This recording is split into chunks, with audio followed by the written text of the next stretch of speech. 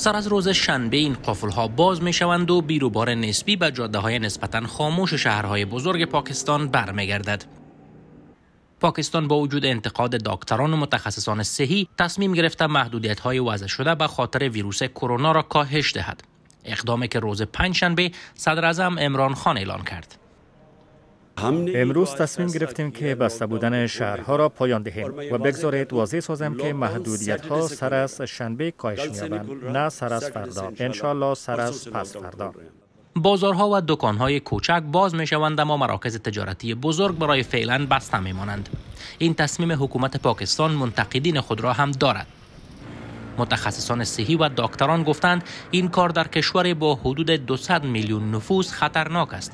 و ممکن شمار مبتلایان را به حد برساند که پرسنل صحی و شفاخانه ها از رسیدگی به بیماران عاجز بمانند.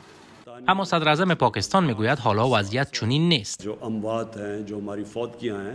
شمار تلفات در حال افزایش است اما نه به آن سرعتی که ما انتظار داشتیم. آهسته افزایش می‌یابد. بیم از آن داشتیم که شاید شمار مبتلایان آنقدر به سرعت بلند برود که در شفاخانه ها جا نماند و در جاهای مخصوص برای افراد آلوده به ویروس کرونا بستر کافی داشته باشیم.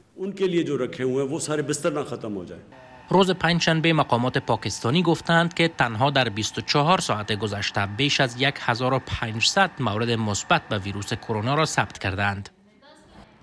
پاکستان تا به حال بیش از 24 هزار مورد مثبت کووید 19 را ثبت کرده. شمار تلفات این بیماری در این کشور تا حال به حدود 570 نفر رسیده است. اما متخصصان صحی پیش بینی می کنند که با کاهش محدودیت ها و باز شدن قسمی بازارها این ارقام به سرعت بیشتر از گذشته بالا برود.